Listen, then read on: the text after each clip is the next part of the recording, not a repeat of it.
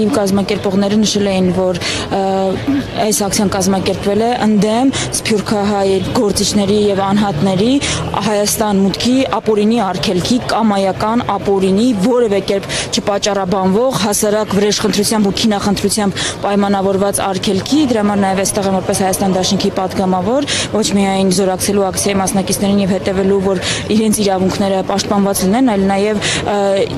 իմ վրթովունք եւ որպես քաղաքացի եւ որ որպես անհատ եւ որպես Հայաստան Դաշնքի падգամավոր արտահայտելու այս աննախադեպ ապօրինությունը, ասում են ընդհանրապես վրեժխնդրությամբ երկիր չես կառուցի, տեսնում ենք, որ այդ վրեժխնդրության ճանապարհն են գնել ու տեսնում ենք, որ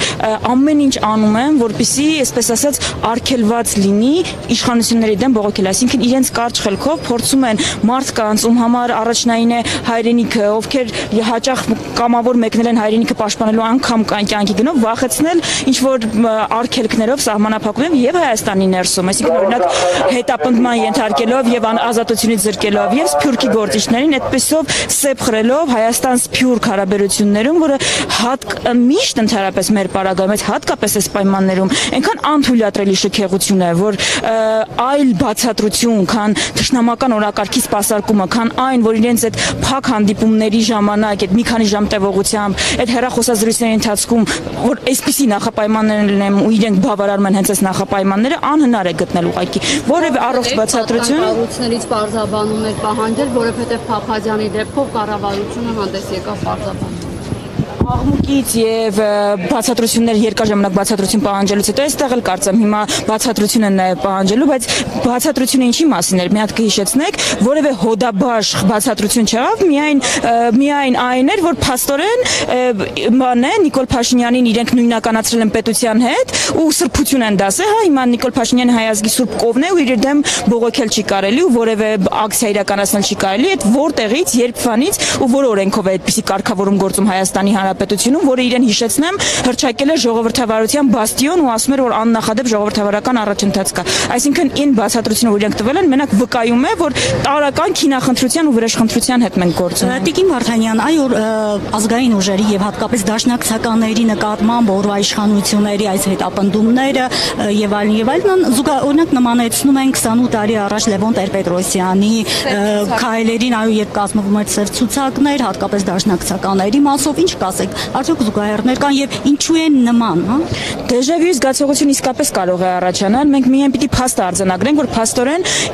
այժմ միայն երկու մարդ կա, ով ունի հայերի սև ցուցակ։ Դա Այլիևն է եւ դա Փաշինյանն է։ Հայերի սև ցուցակ էս երկու անձանց մոտ կա, բայց այստեղ շատ կարեւոր է հասկանալ ինչու է հենց հիմա սա կատարվում ու ինչու են այն մարդկանց նկատմամբ կատարվում հետապնդումները, որոնց նկատմամբ կատարվում են։ Նայեք մեր քաղբանտարկյալների ցանկը ու տեսեք, որ ընտրված են այդ մարդիկ առանձնացրած ընտրված են եւ ազատությունից զրկվել են նպատակային։ Նայեք մարդկանց ու մուտքը արգելված է Հայաստանում։ Ուրեմն մենք այստեղից էլ նաեւ կարողանում ենք հասկանալ, որ Հայաստանի ներկա իշխանությունը չբավարարվելով այդ նոյեմբերի 9-ի փաստաթղթով գնում են նոր նոյեմբերի 9-ի հետևից, գնում են ճանապարհով մեզ նորից կանգնեցնելու նոյեմբերի 9-ի իրականության արչև եւ արդեն եղածը եղած էր եւ կայացած փաստի արչև էինք մենք կանգնած եւ հիմա որpիսի իրենք կարողանան այդ ծրագիրը հաջողացնել են պայմանավորվածությունները, որոնք իրենք այդ փակ վերելակային բանակցությունների ընթացքում ձեռք են բերում, այդ հերախոսազրույցների ընթացքում երբ իրար տոներ են շնորհավորում այդ պայմանավորվածությունները, որpիսի իրենք կարողանան իրականացնել, պետք է մարդկանց, ովքեր ունակ են դիմադրության, ովքեր ունակ են ոչ միայն անհատական իրենք դիմադրեն, այլ իրեն շուրջ համախմբել մի քանի մարդ եւս, ձևավորել այդ համազգային դիմադրություն եւ արդյունքում վիժեցնել այդ նոր նոյեմբերի 9-ը, արդյունքում վիժեցնել Արցախի հայաթափումը, Հայաստանի թրքացումը, իրենք պետք է մեկուսացվեն, իրենց մուտքը Հայաստան պիտի արգելվի, որpիսի այդ ճշնամական ծրագիրը իրականացնեն։ Հետևապես այս ամենի դեմ կատարվողի դեմ բողոքը դառնում է բողոք Հայաստանի թրքացման ծրագրի դեմ։ Սա է ամբողջ իմաստը։ Այսինքն մենք պիտի հասկանանք, որ ոչ միայն տարական վրեժխնդրություն, այո, իրենց համար ճշնամի են, ճշնամի են բոլոր նրանք, ովքեր հայրենիք ունեն։ Արսեն Թորոսյանի համար, ով պնդում է, որ մենք փաստորեն սխալ են կարևոր հաղթել ենք։ Պարզի որ ճշնամի է մեկը, ով պատրաստ է ինքը գնալ իր կյանքի գնով, իր նշանակություն չունի, զոհել իր կյանքը եւ փրկել հայրենիքը։ Ճշնամի է, չէ՞ այդ մարդը։ Պետք է, չէ՞ պատկեր պատկերացրեք, որ Արսեն Որոսյան Թորոսյանը մեր որոշում կայացնողներից է։ Ինչ որոշում կկայացներ, կասեր չէ մեկուսացնել դրանց, բանտարկել։ Արսեն Թորոսյաններն են մեր երկրի իշխանությունը, հետեւապես այս ամեն ինչ ինչ կատարվում է անձնական վրեժխնդրության եւ այդ ճշնամական ծրագրերի վիժեցման դեմ է, վիժեցման նպատակով է մեր պարտականությունը դառնում է դրան չտրվելը, շարունակել պայքարը եւ այն բասանել, որ այո, այդ ճշնամական ծրագրերը անպայման